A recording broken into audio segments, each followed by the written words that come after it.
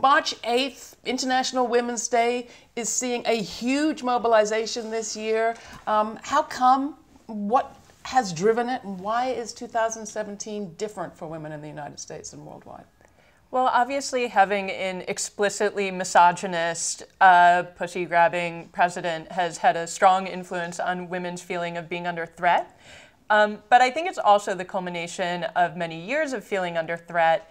And one thing we can learn from Europe is we have seen the rise of very similar political figures to Trump, right? Mm-hmm. And all of these sort of quasi authoritarian leaders want to take away reproductive rights and increase austerity.